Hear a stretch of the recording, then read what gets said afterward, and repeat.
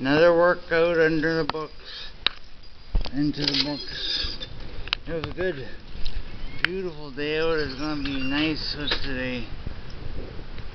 I don't know if you can see that for the sun, but it's nice and bright out.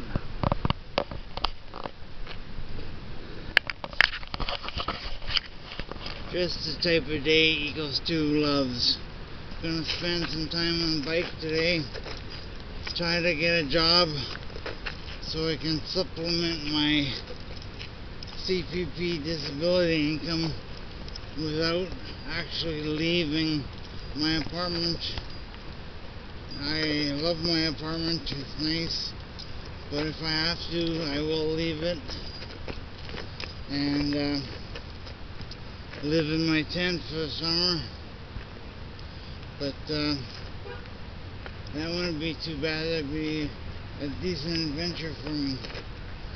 Anyways, do what you can to help save Mother Earth.